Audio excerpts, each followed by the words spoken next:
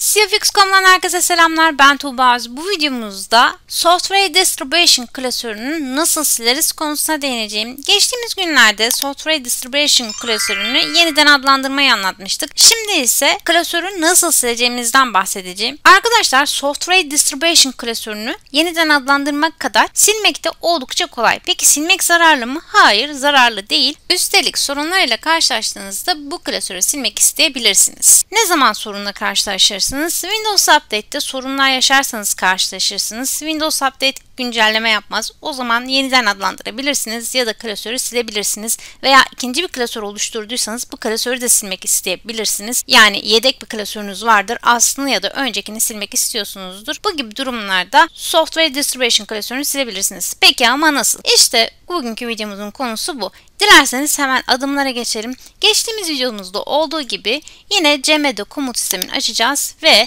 buradaki ilk komutumuzu kullanmamız gerekiyor arkadaşlar. Komutu hemen kopyalayalım.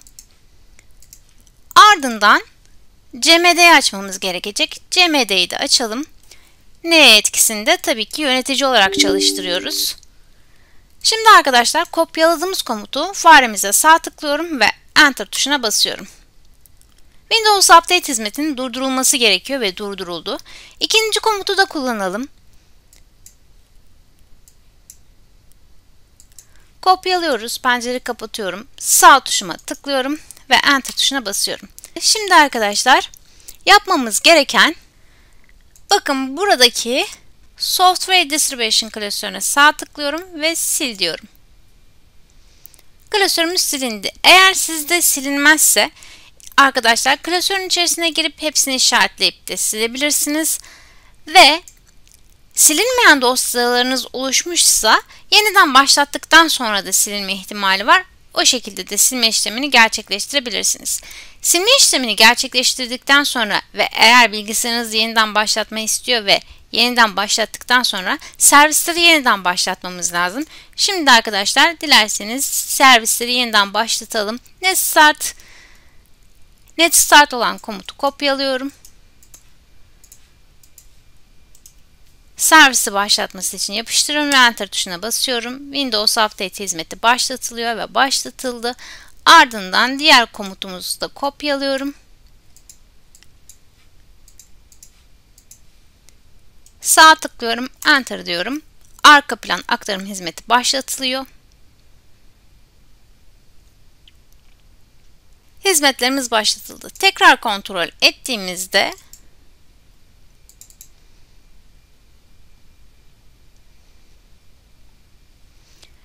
Gördüğünüz gibi yeniden oluşturmuş oldu. Arkadaşlar Software Distribution klasörünü sildikten sonra eski olanı aktif etmek isteseydim ne yapacaktım? Hemen isterseniz onu da göstereyim. Servisleri durduralım.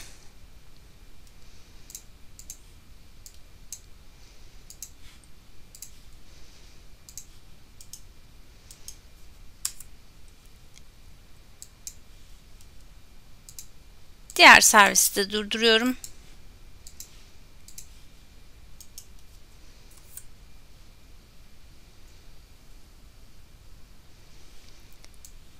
Evet arkadaşlar servisleri durdurduktan sonra Software Distribution klasörünü yeniden siliyorum.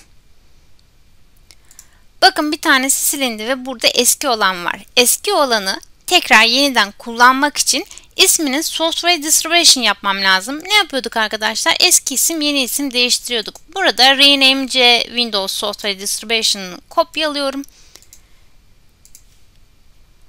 Ve not belgesine tekrardan buraya eski isim Software Distribution Back olanı tabi burada back değil eski yazacağız bunun sonuna. Buradaki eski.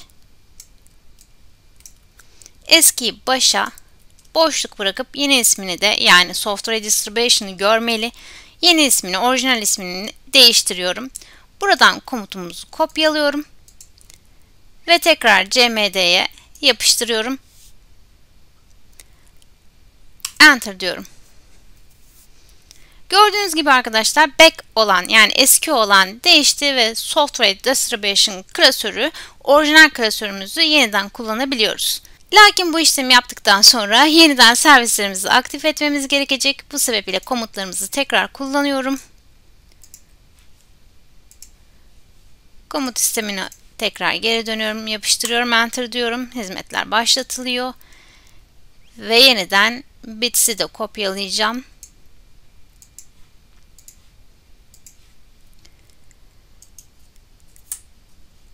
Arka plan hizmetlerini de başlattıktan sonra işlemimiz tamamlanmış oluyor. Evet arkadaşlar bir videomuzun daha sonuna geldik. Daha fazla bilgi için web sayfamız www.cfx.com'u ziyaret edebilirsiniz. Videomuzu eğitici öğretici bulduysanız kanalımıza abone olabilir, yorum yapabilir ve like atabilirsiniz. Videonun altındaki çan ikonuna tıklarsanız da yeni yüklediğimiz videolardan anında haberdar olabilirsiniz. İzlediğiniz için teşekkürler. Sonraki videolarımızda görüşmek üzere. Hoşçakalın.